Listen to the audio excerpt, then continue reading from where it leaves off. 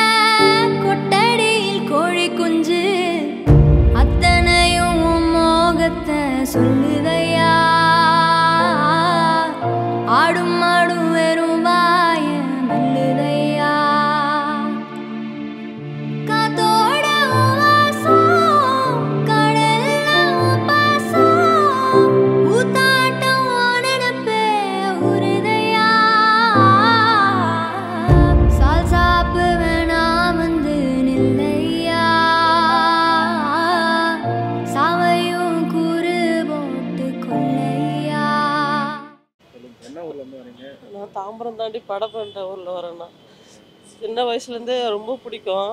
எங்கள் வீட்டில் ஒரு தலைப்புள்ள ஃபஸ்ட்டு அண்ணன் எனக்கு அவர் தான் அடுத்தது என்ன அண்ணன் இன்னொரு அக்கா. நான் இது வரைக்கும் நான் பார்த்ததில்ல. அண்ணன் வந்து இப்போ இறந்ததுக்கப்புறம் இதை செய்கிறாரு அதை செய்கிறாரு சொல்லி இப்போ தான் கேட்குறேன் செய்கிறாரோ செய்யலையோ ஆனால் எனக்கு பிடிக்கும்.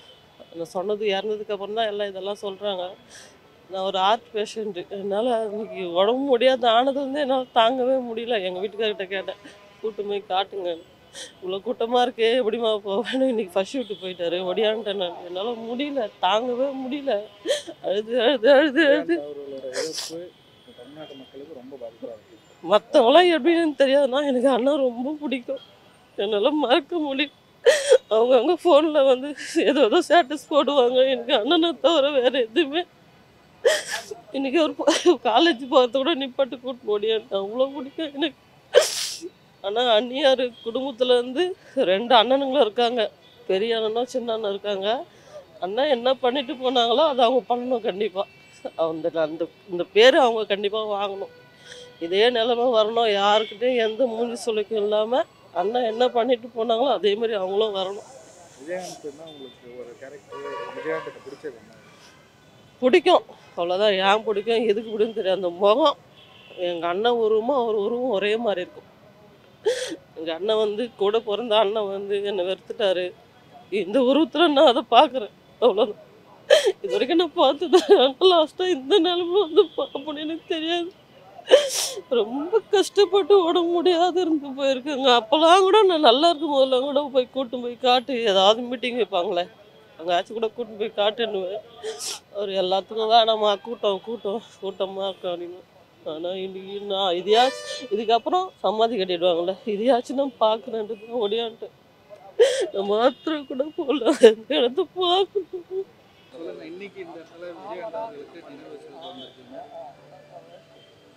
அனைவருக்கும் வணக்கம். என் பேர் வந்து பிரபுதாஸ். பாஜகவின் பட்டியலணி மாநில துணைத் தலைவராக இருக்கேன் நான். நான் வந்து அண்ணன் இறந்தப்போ நான் வரல. எங்கள் மாநில தலைவர் மாலை போட்டிருக்காரு. நானும் மாலை போட்டிருக்கேன். எனக்கு வந்து சாமி பக்தியில் வந்து எனக்கு வந்து மாலை போட்டால் போகக்கூடாதுன்ற ஒரு இருந்தது. அதனால் நான் நிறைய படங்கள் அண்ணன் கூட நடிச்சிருக்கேன். அண்ணனை பற்றி நிறைய தெரியும். அண்ணன் கூட பேசியிருக்கேன் நான் நிறைய வாட்டி இதுவாக இருக்கேன். ஆனால் நான் வரல. ஏன்னாக்கா மாலை போட்டுருந்தனால நான் வர முடியல. ஆனால் என் தலைவர் அண்ணாமலை அண்ணன் வந்து வந்தது எனக்கு பெரிய சந்தோஷம். எனக்கே ரொம்ப கஷ்டமாச்சு. ஏன்னா தலைவருக்கு போயிருக்கா நம்ம போக முடியலன்றதுனால.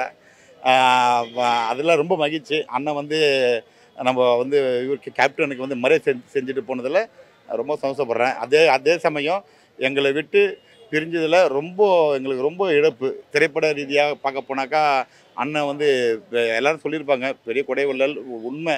இது சும்மா யாரெல்லாம் வந்து வாய் பேச்சுக்கெல்லாம் சொல்லிட்டு போகல உண்மையாக அவர் நடந்ததை உண்மையாக சொல்லிட்டு போயிருக்காங்க. அதில் நான் ரொம்ப இழப்பு. எங்கள் எங்கள் சினிமா இதில் நான் திரைப்பட உடற்கடை கலைஞர் சங்கத்தில் வந்து பொருளாளராக இருக்கேன். ட்ரெஸராக இருக்கேன். சமீபத்துல வந்து எல்லாருமே வந்து மரியாதை செலுத்துறது பண்ணியிருந்தாரு. ஆனா தொடர்ந்து வடிவேல் அவர்கள் இங்க எதுவுமே வரல அப்படின்ற மக்கள் மனசுல ரொம்ப அதிருப்தியா இருக்கு. இதை எப்படி பாக்குறீங்க? அரசியல் ரீதியாக நான் வந்து பாஜக இருக்கிறதுனால நான் அரசியல்வாதியாக சொல்லலை. அதை அப்படியே ஒரு பக்கம் வச்சுருங்க. நான் ஒரு நான் ஒரு திரைப்பட நடிகராக சொல்கிறேன் நான் வடிவலான கூட படம் நடிச்சிருக்கேன். நிறைய இப்போ இந்திரகோத்தி நாடகப்பன் பழைய படங்கள் அப்புறம் சுராகரா நிறைய படம் சொல்லலாம். ஞாபகங்கள் நடிப்பதுக்கு நிறைய படிச்சிருக்கேன் அவர் கூட நான் நிறைய வந்து பயணிச்சிருக்கேன் சினிமாவில் நல்ல ஜாலியாக பேசியிருக்கேன் சந்தோஷமாக சிரிச்சிருக்கேன் பேசியிருக்கேன். ஆனால் இந்த விஷயம் வந்து பார்க்க போனால ஒரு இயல்பான ஒரு மனிதர் இவரை வந்து வளர்த்து விட்டவர் யாராக இருந்தாலும் சரி ஒருத்தர் வந்து நம்மளை வளர்த்து விட்டவங்க நமக்கு ஒரு வேளை சோறு போட்டவங்க நம்ம வந்து எக்காலத்துக்கு அந்த காலகட்டத்திலே மறக்கக்கூடாது. நானும் அப்படி தான் நான் இந்த வரையும் எங்கள் அப்பா அம்மா வளர்த்து தான் அப்படி தான் ஒரு வேளை ஒரு நம்மளை வளர்த்துறோன்னா அவங்களுக்காக நான் உயிரே கொடுத்துக்காக நான் காத்துட்ருக்கேன் அந்தமாரி நாங்களாம் வளர்ந்துருக்கோம். இந்த மாதிரி தான் எல்லாமே தமிழக தமிழ்நாட்டு மக்களுங்க நம்ம ஆளுங்க எல்லாமே இப்படி தான் இருப்பாங்கிறது என்னுடைய தாட்டு என்னோட எண்ணம் தான். இதுதான் உண்மை. ஆனால் இதில் வந்து வடிவேலு வந்து ஏன் இப்படி நடந்திருக்காருன்றது தெரியல. ஒருத்தர் நல்லதுக்கு நம்ம போகிறோமோ இல்லையோ இறப்புன்றது வந்து ஒரு பிறப்பு ஒரு நாள் இறப்பு ஒரு நாள்னுவாங்க. இறப்பில் கூட நீங்கள் வரலன்றது ரொம்ப அது மக்களுக்கு நிறைய பேருக்கு வந்து மன வருத்தத்தில் இருக்கலாம் நான்லாம் ரொம்ப வெறுத்து ரொம்ப கஷ்டம். இது, தப்பு இது எனக்கு தெரிஞ்சு. வடிவேலனை பண்ணது ஒரு மிகப்பெரிய தவறு. ஏன்னாக்கா உங்களை வந்து அவர் வந்து தன் சினிமாவில் கொண்டு வந்து உங்களை வளர்த்து விட்டு உங்களை ஆளாக்கி விட்டு நாங்களாம் ஒரு வேளை ஒரு ஒருத்தர்கிட்ட வாங்கி சாப்பிட்டாலே எது வந்தாலும் பண்ணுவோம்னு சொல்லி சொல்கிறோம் ஆனால் நீங்கள் உங்களை வளர்த்து விட்டு அவர். நீங்கள் வரலன்றது அது ம- முடியல. நம்மளுக்கே தெரியணும். நம்மளை வளர்த்தவர் நம்மளை சாப்பாடு போட்டவர் உங்களுக்கு என்னென்ன பண்ணியிருக்காங்க உங்களுக்கு நாங்களாக சொல்லி தெரிஞ்ச அவசியம் இல்லை. அவருக்கே தெரிஞ்சிருக்கணும் கண்டிப்பாக பார்க்கணுனாக்கா அவருக்கே தெரியும் நம்ம என்னென்ன அவர்கிட்ட என்னென்ன நமக்கு பண்ணியிருக்காங்கன்றது. அவர் வராதப்போ வந்து ரொம்ப மன வருஷத்தில் விடுது இருக்குது அது ஏன் அப்படி பண்ணாருன்னு தெரில நான் ரொம்ப கஷ்டம்தான். ஏன்னா இந்தமாரி யாரும் வந்து மறக்கிறதுலாம் வந்து இவரை வந்து தமிழ்நாடு தமிழ்நாட்டில் வேர்ல்டு வந்து அழுகுது இவருக்காக. எனக்கு சொல்லப்போனால் எல்லா நாட்டிலேருந்தும் அவருக்கு வந்து வந்திருக்கு. பிரதமர் வந்து வர்த்தகம் தெரிவிச்சிருக்காரு. எல்லா மந்திரியும் வந்திருக்காங்க. எங்கேருந்தெல்லாம் ஹிந்தி தமிழ் தெரியாத ஹிந்தியில் இருக்க மந்திரிலாம் வந்து பார்க்குறாங்க இங்கே இருக்க தமிழ் த மதுரை ஒரே ஊருக்காரங்க உங்களை வளர்த்து விட்டுங்க உங்களுக்கே வர முடியலன்னா எனக்கு என்ன சொல்கிறது தெரிலங்க இது மாதிரி தேசம் இருக்காதீங்க. உங்கள் கூட பயணிச்சவங்க கூட நீங்கள் வந்து அவங்கள வளர்த்து விட ஆசைப்படுங்க. எனக்கு நீங்கள் அடுத்து படம் கொடுப்பீங்க படம் கொடுமான்னு நான் பேசலை. ஒரு மனுஷனாக இருந்து நீங்களும் ஒரு மனிதனாக அது ஏன் உங்களுக்கு தெரியலன்றது தான் என்னுடைய கஷ்டம். தொடர்ந்து விஜயன் பார்த்துக்கல போன மணியும் சரி அவர் கூட விவேகானந்த மயில் யாருக்கும் கூட வரல அவர். அவர் வந்து அது ஏன் அவர் அந்த அந்த அந்த- மனப்பான்மையில் இருக்காருன்னு எனக்கே தெரியல. ஏன்னாக்கா தன் நம்ம கூட இருந்து ஒன்றா இருந்து வேலை பார்க்குறாங்க சினிமாவில் எல்லாமே நம்ம வந்து மைக்கில் அத்தை மீட்டிங்கில் பேசும்போது என் அண்ணன் தம்பிங்க கூட போதும்னு பேசுகிறோம் பெரிய வாழ்க்கையே பேசுகிறோம் ஆனால் வந்து செயலில் இல்லைன்னும் போது எவ்வளோ அசிங்கம் அது. வாயில் பேசிட்டு போது ஒரு மனுஷனே இல்லையே. அது மிருகதன்மை தானே அது. நீங்கள் வந்து வாயில் பேசி நீங்கள் செயலில் படுத்திட்டு போனல அந்த விஷயத்த. உங்கள் கூட இருந்தவங்களுக்கு நீங்கள் இவரு கூட கேப்டன் கூட உங்களுக்கு வந்து பிரச்சனைன்னு ஈ சொன்னீங்களே கண்டு இவர் சொல்லவே இல்லை. அடுத்த படம் கொடுக்கணும் தான் நான் நிறைய பேட்டிகளோட பார்த்துருக்கேன். கேப்டன் வந்து உங்கள் மேலே நல்லா ஒரு நல்ல ஒரு அன்போடு தான் இருந்திருக்காரு கண்டி நீங்கள் தான் அப்படி இருந்துட்டு ஒரு இறப்பு கூட வர முடியலன்றது அது எந்த விதத்தில் ஏற்றுக்கிறதுனே தெரியல. அவருக்கு நான் சொல்லணும் என்னோட வயசு பெரியவர் என்னோட மூத்தவர் நிறைய படங்கள் நடிச்சிருக்காரு. ஆனால் ஒரு விஷயம் தெரிஞ்சுக்கணேன் ஒருத்தர் கூட நம்ம இருந்துட்டோம் ஒருத்தர் கூட இருக்கிறோம் நம்மளை ஒருத்தர் வந்து நம்ம வந்து நல்லது பண்ணாங்கன்னா நம்ம விட்டு கொடுக்க மாட்டோம். உங்களை வளர்த்து வரவர் உங்களுக்கு சோறு போட்டவர் உங்களுக்கு நிறைய விஷயம்லாம் வந்து பண்ணவர். நான் சொல்லி தெரிஞ்சது உங்களுக்கே மனசாட்சி ரீதியாக தெரியும். தயவு செய்து உங்கள் உங்கள் உங்கள் கூட இருக்கவங்கள நீங்கள் வந்து வளர்த்து விட பாருங்கள் யாருக்கும் வந்து மன மன கஷ்டத்தில் வந்து போகாமல் இருக்கலாம். அது ஓகே ஆனால் ஒரு இறப்பு கூட போகலன்றது அது ரொம்ப வந்து தவறாக தெரிதுண்ணே அது மற்றவங்க யாருக்கும் இனிமேல் நீங்கள் பண்ணாதீங்க. உங்கள் கூட இருக்கவங்களுக்கு மட்டும் நீங்கள் சந்தோஷம் வைங்க நீங்கள் மற்றவங்க யாரும் சந்தோஷம் வைக்கணும் அவசியம் கிடையாது. உங்கள் கூட உங்களை நம்பி இருக்காங்களே அவங்கள அவங்கள பார்த்தாலே போதுண்ணே நன்றி. கலியுக கர்ணன் கர்ணனை சொல்லுவாங்க. இது வரைக்கும் யாரும் பார்த்ததில்ல. இது மாதிரி கர்ணன் வந்து உயிரிழந்தது வந்து எல்லாருக்குமே பெரிய பாதிப்பு தான். மக்களுக்கு தமிழ்நாட்டு மக்களுக்கு ரொம்ப பாதிப்பு. அதே மாதிரி அந்த ஆக்டி அதான் அவர் எவ்வளோ பேரை தூக்கி விட்டுருக்காரு. சினிமா துறையில் வந்து பார்த்தீங்கன்னா நிறைய பேரை வந்து வளர்த்து விட்டுருக்காரு. வளர்த்து விட்டவங்க கூட அவங்கள வந்து மறந்துட்டாங்கன்னா அது மாதிரி வந்து ஒரு நம்பிக்கை துரோகமான ஆளுங்களை வந்து இவ்வளோ தமிழ்நாட்டில் இருக்கிறாங்கன்னு போது ரொம்ப கஷ்டமாக இருக்குது. கேப்டன் இருந்தாவே ரசிகர்களுக்கும் மக்களுக்கும் எல்லாருக்குமே ஒரு பரிச்சயமான ஆள். ஆனால் இன்னைக்கு வடிவேல் வரலன்றது தான் வந்து பெரிய டாக்காக வந்து இந்த சோஷியல் மீடியாவில் கண்டிப்பாக அதாவது வந்து மனுஷனுடைய வாழ்வை வந்து அவருடைய மரணம் தான் கடைசி கட்டம். அதிலே ஒரு மனிதாபிமானம் இல்லாத ஒரு ஆளுங்க இருக்கிறாங்க போது அது நம்ம அது மாதிரி ஆளுங்களை பார்க்கும்போது நம்மளுக்கு இன்னும் கோபம் தான் அதிகமாக வருது. அது மாதிரி ஆளுங்களை அடிக்கலாம் அது மாதிரி தான் வருது. ஏன்னா அவர் எவ்வளோ செஞ்சிருக்காரு. அந்த படத்தில் பார்க்கும்போதே நம்மளுக்கு தெரியுது. நிறைய அவங்க நிறைய பேருக்கு நிறைய அது போண்டாமணி இருக்கட்டும் மற்ற ஆக்டர் நிறைய பேருக்கு வந்து ஹெல்ப் பண்ணியிருக்காரு அதே மாதிரி இல்லைன்னு போனவங்களுக்கு வாரி கொடுத்த வள்ளலே அவர் தான். அப்படிப்பட்ட வள்ளலுக்கு வந்து இது மாதிரி நிலைமை போது ரொம்ப கஷ்டமாக இருக்குது. எப்படி உங்களுக்கு இந்த கேப்டன் இறந்துட்டாருன்ற தகவல் தெரிய தெரிஞ்ச போது எப்படி இருந்தது அதாவது எங்கள் பாதி உயிர் போன மாதிரி தான் இருந்தது. அவருடைய இழப்பு வந்து தமிழ்நாட்டுக்கு பெரிய இழப்பு தான். தமிழ்நாட்டு மக்கள் என்ன மாதிரி ஒரு மனிதரை வந்து இறந்துட்டாங்கன்ற அதாவது என்னென்னா ஒரு எதிர்காலமாக வந்து நம்ம நினச்ச அதாவது வருங்கால முதல்வராக நம்ம நினச்ச வந்து இறந்துட்டாருன்னு அந்த மாதிரி தான் வந்து எங்களுக்குள்ளே ஃபீல் ஆகுது. அதாவது அவருடைய அவர் இருந்திருந்தா இன்னும் நல்லா இருந்திருக்கும் தமிழ்நாடும் நல்லா இருந்திருக்கும் தமிழ்நாட்டு மக்களும் நல்லா இருந்திருப்பாங்க. அது வந்து தமிழ்நாடு வந்து நம்ம நம்ம தமிழ்நாடு வந்து ஒரு நல்ல ஒரு முதலமைச்சரை இழந்துட்டாங்கன்னு தான் நாங்கள் ஃபீல் பண்ணுறோம் இந்த ஆதரவு வந்து அவங்க குடும்பத்துக்கு தமிழ்நாடு மக்கள் வந்து ஆதரவு தரணும்னு மக்கள்கிட்ட வேண்டிக்கிறோம். அடிப்புன்னு சொல்லுவேன் நான். இதுக்கு மேலே என்ன சொல்லணும்? செருப்பால் அடிக்கணும்னு சொல்லுவேன். வளர்த்து விட்ட அதாவது ஏதோ பழமொழி சொல்லுவாங்கள்ல வளர்த்த வளர்த்த கடா மாறல் பாயின்னு சொன்னாங்களே அது மாதிரி நாய் அவன். நாயில் நாய் நம்பர் ஒன் நாய். தமிழனுடைய பேரை கெடுக்க வந்த வடிவேல் நாய் அவன். பச்சை துரோகி நாய். அவனை மாதிரி ஜென்மம் அவன் செத்தே செத்துடலாம். நானும் சா செத்துடலாம் அவன். அவெல்லாம் எதுக்கு அவன்? எல்லாம் இருக்கட்டும். எவ்வளவோ மனுஷன் வந்து லாஸ்ட்டில் வந்து இந்த மரணம் தான். அந்த மரணத்துக்கு கூட ஒரு இரங்கல் தெரிவிக்காத நாய். எதுக்கு அந்த நாய்? நம்ம எதுக்கு அவன் அவன் அவன் அவன் படத்துக்கு நம்ம ஏன் போய் போய் பார்த்து நம்ம ஏன் அவனை அவரை தூண்டி விடணும் அவனை? அவன் ஒரு நாயிலும் நாய் நம்பர் ஒன் நாய். பச்சோந்தி நாய். என் பேர் ஆனந்தி. கும்பகோணத்திலிருந்து வந்திருக்கிறேன் கேப்டன் அவங்க இறந்துட்டாங்கன்னு செய்தியை கேட்டு ரொம்ப மனசு வேதனை ஆயிடுச்சு அது வரைக்கும் அவர் ஒரு ஆக்டரே ஒரு கட்சியோட தலைவராக தான் தெரியும். அவங்க இறந்ததுக்கப்புறம் அவ்வளோ கூட்டம் அவ்வளோ மக்கள் அவங்களுக்காக அழுகுறாங்க. அவ்வளோ ஒரு நல்லது செய்ய போய் தான் அவங்க வந்து இதை பண்ணியிருக்காங்க. மக்கள் வந்து அவங்களுக்காக இன்ன வரைக்கும் இன்றைக்கி இறந்து நாலஞ்சு நாள் ஆகுது. இன்ன வரைக்கும் கூட்டம் குறையில. நாங்கள் கும்பகோணத்துலேருந்து வந்திருக்கிறோம் கேப்டன்ல உங்கள்கிட்ட பிடிச்ச விஷயம் கேப்டன்கிட்ட பிடிச்ச விஷயம் மக்களுக்காகவே இருந்தார். மக்களுக்காகவே நல்லது செஞ்சார். அவர் இருக்கும்போதும் செஞ்சார். இறந்ததுக்கப்புறமும் அவர் வந்து வாழ்ந்துட்டு இருக்காரு மக்களுக்குள்ள. வரவங்க யாரும் வந்து வெறுமனையே போகக்கூடாதுன்னு வயிறார உணவு போடுறாரு பாருங்க. அதுதான் உண்மையான விஷயம். நாங்கள் கும்பகோணத்தில் ஒரு ட்ரஸ்ட் வச்சுருக்கோம். சாலையோரத்தில் இருக்கிறவங்க ஆதரவற்றவர்களுக்கு அன்னதானம் போடுறது. அதனாலமோ என்னமோ தெரியல. அவர் இறந்துட்டாங்க நான் யாருக்குமே அந்த மாதிரி அழுதது கிடையாது. இறந்துட்டாங்கன்னு செய்தியை ஃபோனை எடுத்து காலையில் பார்க்குறோம் இறந்துட்டாங்கன்னு அந்த ஃபோட்டோ இதெல்லாம் இருக்குது யாரும் செய்தி சும்மா இதாக பரப்பி விடுறாங்களோ என்னமோ செய்தி டிவி வச்சு பார்த்த உடனே என்ன அறியாமே அழுக எனக்கு அவ்வளோ தாங்கலை. நான் அந்த மாதிரி யாருக்குமே ஃபீல் பண்ணி அழுததே கிடையாது. நம்ம வீட்டில் ஒருத்தவங்க இழந்துட்டோம் அப்படின்ற மாதிரி அன்னைக்கே வரணும்னு பார்த்தா என்னால் வர முடியல. அதனால தான் இன்னைக்கு வந்திருக்கிறோம்.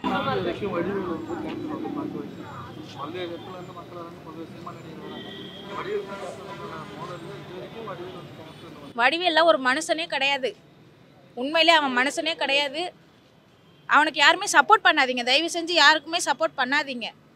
வடிவேல் எல்லாரையும் சிரிக்க வைக்கிறாப்புல. அது ஒரு பெரிய ஒரு விஷயம் அப்படின்ட்டு வடிவேல் மேலே ஒரு மரியாதை இருந்தது. இவ்வளோ பெரிய மனுஷன் இறந்துருக்காரு. அவரை வந்து திரையுலகத்துக்கு ஒரு அறிமுகப்படுத்தி இவ்வளோ பெரிய ஒரு நடிகர் காமெடி நடிகராக இன்றைக்கி அவருக்கு ஒரு பேர் இருக்குதுன்னா அது வந்து கேப்டன் சார் மட்டும்தான் காரணம். அவர் கொடுத்த அந்த வாழ்க்கையை ஒரு எட்டு அவர் நான் பார்க்க முடியாத ஆள் அந்த ஆளுக்கு யாருமே சப்போர்ட் பண்ணாதீங்க. அவர் படம் எங்கே வந்தாலும் போய் யாரும் பார்க்காதீங்க. உண்மையிலே கேப்டனுக்கு நான் கோடான கோடி நன்றி சொல்கிறேன் மக்களோட மனதில் இடம் பிடிச்சிட்டாரு. அவர் இருக்கும்போது சப்போர்ட் பண்ணாத மக்கள் அவர் இறந்ததுக்கப்புறம் அவங்க குடும்பத்துக்கு நம்ம சப்போர்ட் பண்ணணும். தயவு செஞ்சு எல்லாரும் அவங்களுக்கு ஆதரவு கொடுங்க. நன்றி வணக்கம். திருவள்ளூர் மேற்கு மாவட்டம் திருவிழாங்காடு ஒன்றியம் கலாம்பாக்கம் கிராமம் கலாம்பாக்கம் கிளை. தலைவர் எனக்கு என்னோடய ரசிகர் மன்றத்துக்கு வந்து அப்போ டி ராஜேந்தர் கூட இருந்து என்னோட திருமணத்துக்கு டி ராஜேந்தர் தான் வந்தார். ஆனால் என்னைக்கு இயக்கணும்னு ஆரம்பித்தாரோ கேப்டன் பின்னாடி தான் சொன்னேன். கேப்டன் வரைக்கும் எனக்கு நம்பிக்கையாக இருக்கிறோம். கேப்டன் தான் எங்களுக்கு உயிர். ஏன்னா பல சாதனைகள். சும்மா நம்மளாம் சொல்லி மீளாது அது கூட பழகினவங்களுக்கெல்லாம் எல்லாமே தெரியும். கேப்டன் தான் ஒரு சகாப்தம். கேப்டன் தான் என்றைக்கும் அசைக்க முடியாத ஒரு சொத்து. அது இல்லாமல் நம்ம தேவையில்லாதவங்க பற்றிலாம் நம்ம பேச வேணாம். தயவுசெய்து பேச வேணாம். சார் நான் சொல்கிறேன் சார். நான் ஜிபோரஸ் செக்யூரிட்டி கார்டாக நான் ஒர்க் பண்ணுறேன் நான் அன்றைக்கி கிளம்பும்போது இருபத்தெட்டாந்தேதி நான் கிளம்பும்போதும் கூட புதிய தலைமுறை நியூஸ் பார்ப்பேன். புதிய தலைமுறை விஜயகாந்துக்கு கொரோனா தொற்று உறுதியானது. மூச்சுத்திணல் ஏற்பட்டதுன்ற நியூஸை பார்த்துட்டு தான் நான் என்னோடய செக்யூரிட்டி வேலைக்கு வரேன். செக்யூரிட்டி வேலை பார்க்கும்போது மற்றபடி எல்லாம் இன் அவுட்டு இதெல்லாம் ரிஜிஸ்டர் பண்ணும்போது எட்டு ஐம்பது எட்டே முக்காக்கு ஷேர் ஷாட் ஆன் பண்ணி நான் எப்போயும் ஒரு பத்து பேருக்கு வாட்ஸ்அப் போடுவேன். அவன் அந்த பா பண்ணும்போது கேப்டன் காலமானார்ன்ற ஒரு நியூஸ் வருது. நியூஸ் வந்தோன்னே என்னுடைய கலாமகம் கிராமத்துக்கு நான் கால் பண்ணி கேட்குறேன் எடுக்கலை. என்னோட ஆஃபீஸுக்கே ஃபோன் பண்ணி சார் கன்ஃபார்ம் பண்ணு கன்ஃபார்ம் பண்ணாங்க அந்த டைம் சார் ஒம்பது பத்து அப்போ டைம் டியூட்டியில் இருக்கேன். ஒம்பது பத்துக்கு நான் கால் பண்ணி சார் நான் கிளம்ப சார் நான். ஆனால் நான் அப்படியே விட்டுட்டு போக முடியாது. நைட் ஷிஃப்டால் யாராவது ஒருத்தர் டியூட்டியில் போட்டுட்டு நீங்கள் கிளம்புங்க அப்படின்னாரு. அன்றைக்கி வந்தவன் சார் இருபத்தெட்டு இருபத்தொம்பது ரெண்டு நாளாக இருந்து முப்பதாந்தேதி மதியம் தான் என் ஊரில் போய் நான் பேனர் வச்சுட்டு அவ்வளோ நான் அஞ்சலி செலுத்திட்டு வரேன் வந்துட்டு என் கேப்டன் ஞாபகமாக இதோ இன்னைக்கு வந்துட்டு போகிறேன் கேப்டன் என்றைக்கு தவிர சார் அவர் ஆத்மா மட்டும்தான் சார் அந்த சொர்க்கத்துக்கு போய்க்குது. அவர் உடல் உயிர் ஆவி பொருள் மொத்தமே எங்கள் கூட தான் சார் இருக்குது எங்கள் கூட தான் சார் இருக்கார். அந்த பலம் இன்னமும் டபுள் மடங்கு ஆயிருக்கு சார். எங்களுக்கு என்றைக்கும் கேப்டன் கேப்டன் கேப்டன் தான் சார். கண்ணிலேருந்து வர தண்ணி ஒன்றுமிலே அவர் போட்ட எல்லாமே அதான். கேப்டன் தான் சார். இவெல்லாம் சும்மா சாதாரண ஆள் சார். இவனை பற்றிலாம் நம்ம பேசக்கூடாது சார். இன்- நானே சொல்கிறேன் நான் என்ன மாதம் ஒரு பன்னெண்டாயிரம் ரூபாய் சம்பளம் வாங்குறேன் என்ன இன்றைக்கி சின்ன கவுண்டர் படத்தில் அண்ணன் கவுண்டர் பண்ணி அண்ணனும் செந்தில் அண்ணனும் வடிவேலு வேணான்னு சொன்னாங்க. கேப்டன் தான் சார். பாவம் போச்சுட்டு போட்டேன். அவர் கொடை பிடிக்கிற சீனாவது கொடுக்கலாம். அப்படின்னு சொல்லிட்டு கேப்டன் தான் அவருக்கு வாழ்க்கை கொடுத்தாரு. என்ன இவர் எங்கேயோ ஒரு சாவுக்கு அவர் ராஜகின்னு போகும்போது ஒரு சாவு சமத்தில் அவர் உட்காந்துக்கும் போது சும்மா சின்ன சின்ன கதைகளை சொல்லியிருந்தார் ஊர் கிராமத்தில். அப்படி சரி இவனை போய் சினிப்பில் விட்டான்னு சொல்லிட்டு அவர் பாவம் அவர் குடும்பத்தையும் ஆயிடுச்சாரு நான் எங்கால ஆக்டிவேஷன் இல்லைனாலும் மூணு நாள் முன்னால் போண்டாம் மணிக்கு ஒரு லட்ச ரூபாய் செக்கு எங்கள் மீஸ் ராஜேந்திரன் எத்தனை கொடுக்குறாரு. ஏ நான் தன்னா இன்னைக்கு இரநூறுபா சம்பளம் வாங்குற எத்தனையோ நடிகர் எத்தனையோ ஆக்டருங்க இருக்காங்க. ஒத்த பைசா யாரும் தெரில ஆனால் என் கேப்டன் கேப்டன் காதுக்கு வந்த உடனே இந்த ஒரு லட்ச ரூபா எத்தனையோ அவர் போண்டாமணி குடும்பத்துக்கு கொடு.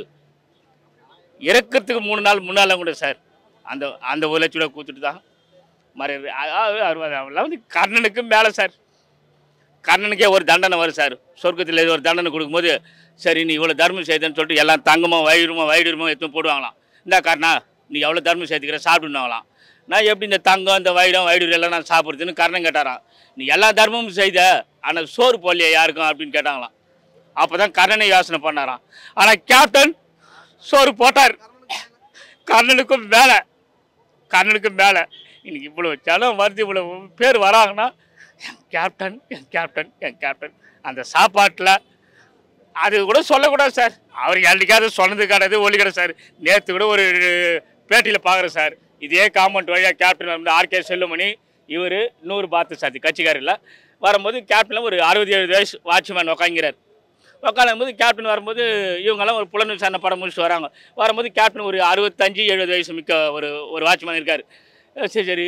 ஆர்கேமணி செல்வனை தூக்கி அழுக்கா தூக்கி கேட்டுக்கு நட போட்டார் கேப்டன் அப்புறம் கேப்டன் என்ன பண்ணார்? எகிரி குச்சார் இன்னொருத்தர் பார்த்து சாத்தினா எகிரி குச்சார் ஏன் நீ ஒரு ஓனர் வேலை செய்யிட்டு வராரு? ஒரு செக்யூரிட்டி தூங்குறோம் நாங்கள் செக்யூரிட்டி வாட்ச்மேன் தூங்குறாரு அவர் ஏழ்பிளமன் அந்தாலும் ஒரு அறுபத்தஞ்சு எழுபது வயசு ஆகுது. அவர் எழுப்பிட்டா இன்னும் மூணு மணி நேரம் அவருக்கு தூக்கம் வராது. பாவம் தூங்கட்டும். அந்த மனிதாமனம் அதே மாதிரி வராது. அதே மாதிரி இந்த ஆஃபீஸில் போய் படுக்கும்போது அவர் கூட ஒர்க் பண்ணுற அந்த லைட் மேனும் ஒர்க் பண்ணும்போது அவர் தலைக்கு வச்சுக்கிற அந்த ரோலரை வந்து அவர் காலுக்கு போட்டு தூங்கிறார் வேலை செய்கிறவர் ஆனால் கேப்டன் நம்பர் ஆர்கே சொல்கிறார் என்ன அவன் இப்படி பார்த்துக்கணும்? ஆ அதெல்லாம் விடுன்னு சொல்லிட்டு அவர் காலேருந்து இதை மட்டும் எடுத்து போட்டு கீழே தரையில் பார்த்துக்கின்னு ஆர்கே செல்வன் தரையில் பார்த்து யாருமே எந்த தொழில் வேலை செய்யணும் பாவம்னு நினைக்கிறார் பேர்.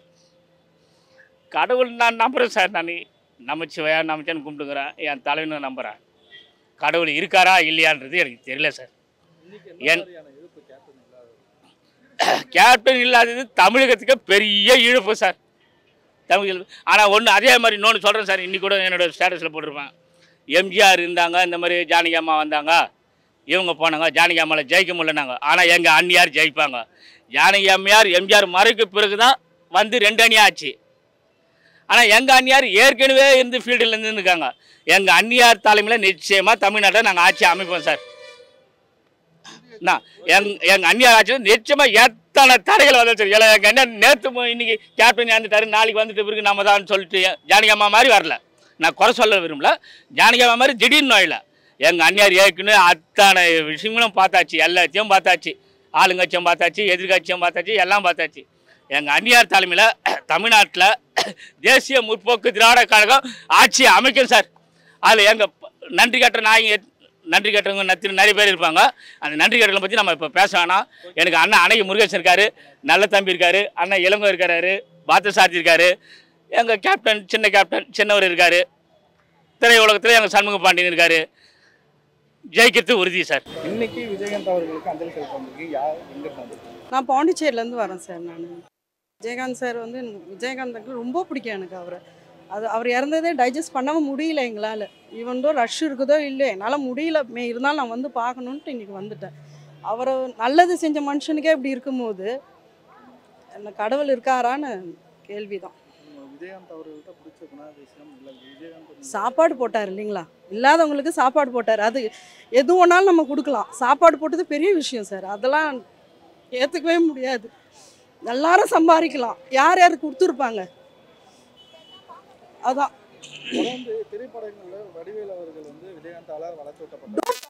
வடிவேல்லாம் ஒரு மனுஷனே கிடையாது சார். என்ன மனுஷன் வடிவேல்? நீங்கள் போட்டாலும் எனக்கு அதை பற்றி கவலையே கிடையாது. என்ன மனுஷன் வடிவேல்? நன்றியை மறக்கக்கூடாது சார். நல்லது செஞ்ச மனுஷனுக்கே இந்த நிலமை இருக்கும்போது நன்றி மறந்தவனுக்கு உனக்கு என்ன நிலமை? யார் முன்ன யார் பின்ன நான் சொல்ல வரல சார். வடிவேல்லாம் என்ன மனுஷன்? நீங்கள் சொல்லுங்கள் ஒரு ஒரு அவர்கிட்ட வந்து ஒரு வேளை சாப்பிட்ருப்பல்ல நல்லா. அதை விட என்ன உனக்கு பெரிய வேலை உனக்கு? வரணும் சார் கேப்டன் வந்து பார்க்கணும். கேப்டனை பார்க்காதலாம் அவ- அவர் எப்படி இருக்க போகிறாருன்னு தெரியல. நல்லது செஞ்ச என் தலைவனே எப்படி இருக்கிறாரு. நான் பார்ட்டியை பற்றிலாம் பேசலை. எனக்கு பிடிச்ச மனுஷன் சார் அவர். பார்ட்டி அதெல்லாம் நான் சொல்ல வரல. நல்ல மனுஷன். அவருக்கு இந்த நிலமை. வடிவேல்லாம் பார்க்கலாம். கண்ணு இருந்தால் பார்க்கலாம்.